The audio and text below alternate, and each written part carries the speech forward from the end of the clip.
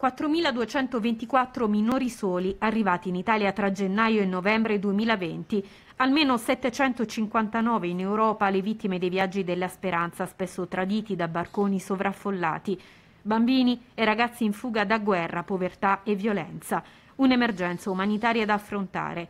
Nel Palazzo del Governo stamattina la presentazione del sesto report sui minori non accompagnati in provincia di Potenza dati forniti dal Ministero degli Interni, elaborati dall'Istat nell'ambito di una ricerca voluta dall'Unicef. Noi oggi sappiamo quanti eh, minori ci sono, sono 74, sono tutti di sesso maschile, hanno un'età media di 16 anni, sono dislocati nelle strutture e abbiamo anche monitorato le strutture che hanno eh, 92 operatori professionali. Sono seguiti una delle competenze principali della prefettura è l'immigrazione e nell'ambito dell'immigrazione molta attenzione è dedicata al problema dei minori stranieri non accompagnati, per cui ben volentieri abbiamo aderito alla proposta Unicef di stipulare questo protocollo che non è altro che un progetto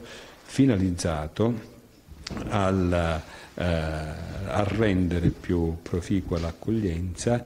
Da gennaio poi al via una prima azione, frutto di un accordo siglato dal presidente nazionale dell'Unicef Samengo, recentemente scomparso. Percorsi di formazione per ragazzi e operatori. Obiettivo aiutarli a costruire la loro identità, intrecciando radici e futuro.